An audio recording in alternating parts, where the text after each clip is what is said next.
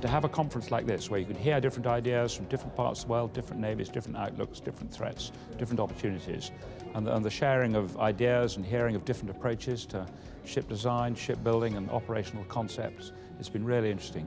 And so helping us talk together and build strategies together, A, it's more efficient, and B, it's more effective in moving forward together.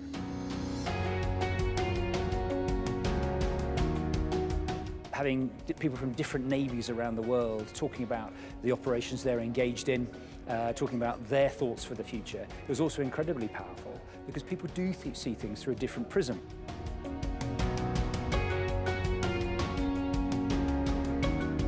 When we came to these kind of conferences, we learned a lot from each other and uh, from the experience, and uh, also we have good contacts to solve some of our problems.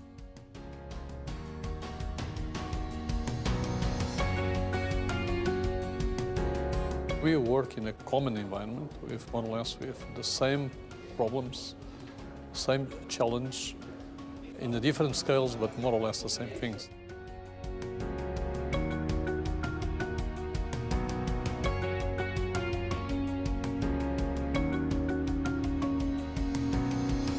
This conference gives uh, us an opportunity to interact with the various uh, navies uh, and nations to get a better feel. Uh, it's an opportunity for us to get a message across to our uh, customer navies or our potential uh, customer navies about developments, relevant developments to them that take place within our company.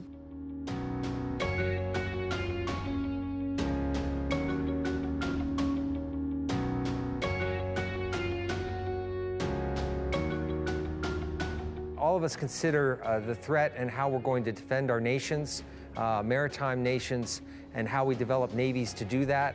Because ships are, take so long to build, um, you don't want to build something that is obsolete when it gets in the water.